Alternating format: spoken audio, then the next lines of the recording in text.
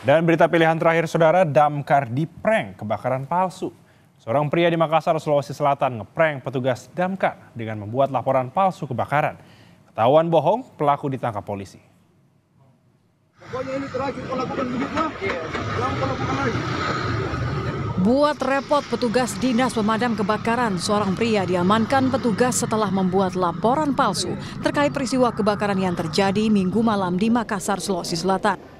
Pelaku yang merupakan buruh harian lepas ini hanya bisa pasrah saat diamankan petugas. Ia ditangkap saat sedang berada di rumahnya.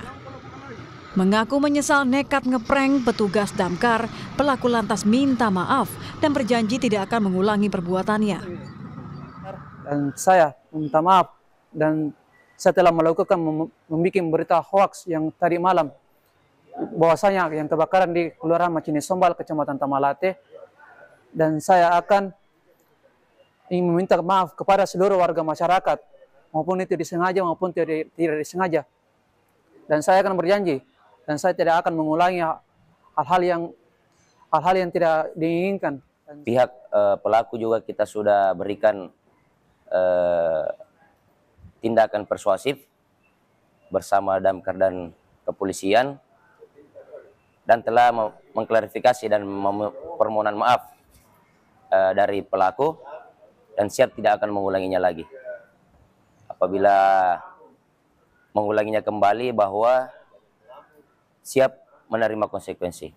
Itu hasil ke- keputusan dan kesepakatan kami bersama.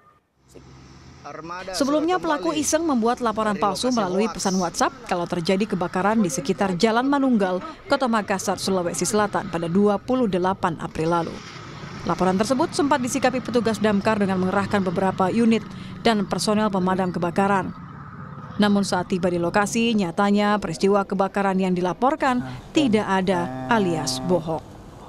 Rama Pratama, Kompas TV, Makassar, Sumatera Selatan.